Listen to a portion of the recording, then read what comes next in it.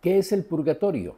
También esto es una pregunta que en muchas ocasiones eh, pues eh, gira en torno a la razón del ser humano. El purgatorio es el estado de los que mueren en amistad con Dios.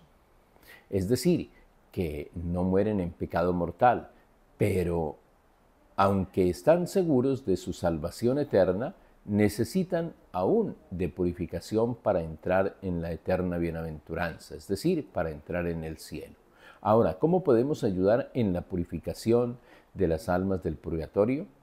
En virtud de la comunión de los santos, esa verdad de fe eh, que eh, también nosotros aquí la explicamos eh, hace unos días, los fieles que peregrinan en la tierra pueden ayudar a las almas del purgatorio ofreciendo por ellas oraciones de sufragio, en particular el sacrificio de la Eucaristía, pero también limosnas, indulgencias y obras de penitencia.